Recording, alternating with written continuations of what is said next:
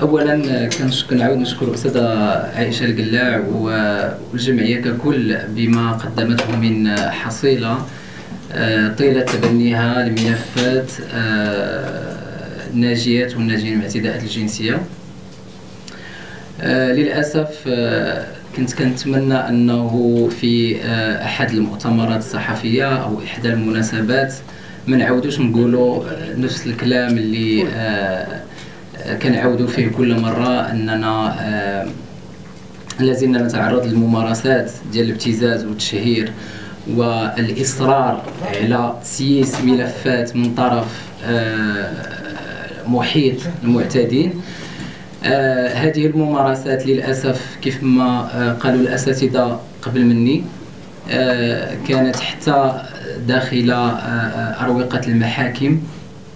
للأسف اللي المفروض منهم أنهم حقوقيين وحقوقيات آه، آه، آه، كانوا كيتلفظوا بألفاظ داخل قاعات المحكمة ويشيرون بالأصابع إلي على انني شخص ربما في في ظنهم لا أستحق أن أقف في المحكمة أو أن أكون على قيد الحياة.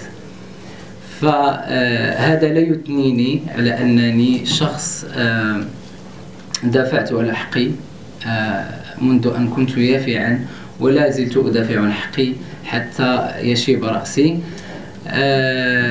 للأسف كما قلت الممارسات الإقصائية والتمييز ومحاولات المساومة. فأنا بدوري تعرض علي أنه مقابل مبلغ مالي أنني نتنازل على قضية قضية الدعوة القضائية ضد الشخص.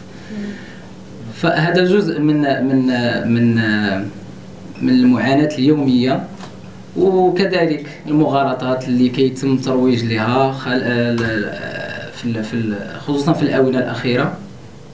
فكان الصحفي آه، عمر بروكسي خرج في إحدى تصريحاته يقول أن آه، الشخص تمت محاكمته بناء على تجاوزه للخطوط الحمراء ولا أرى أن أي خطوط حمراء غير التي ارتكبها وتجاوزها آه، في حقي. فهذا الربط الخطير بين صفة صفة المتهم أو صفة المعتدي وبين ما اقترفه هي واحد السياسة كتبناها كما أسميها أنا عفوا آه، العشيرة الحقوقية. فالعشيرة الحقوقية هم أفراد آه، كيتبناو واحد المقاربة آه، عائلية في تبنيهم القضايا إنسانية أو حقوقية. فملي كيتعلق الأمر بواحد أو وحدة من, الأب... من, من الأبناء ديالهم فيصبح المعتدي ضحية. وتصبح الضحية معتدي. ف وللاسف هاد الناس كذلك يتبناو بروباغندا على المستوى آه، آه، الدولي.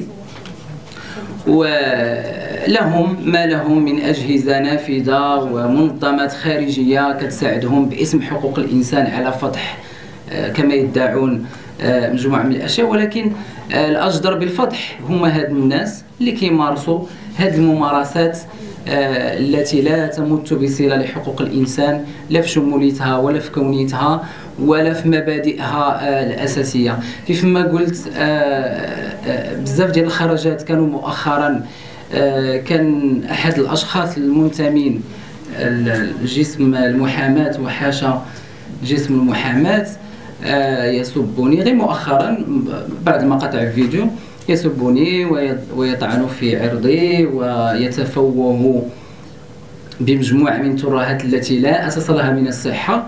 وإن شاء الله ستكون هناك آه، ملاحقة قضائية. وكيف ما قلت أنا في العديد من المرات لن أتوانى ولن أسامح آه، في حقي في كل شخص ثبت أنه آه، سبني أو أو شهر بي أو حاول مصادرة حقي في اللجوء إلى آه، القضاء.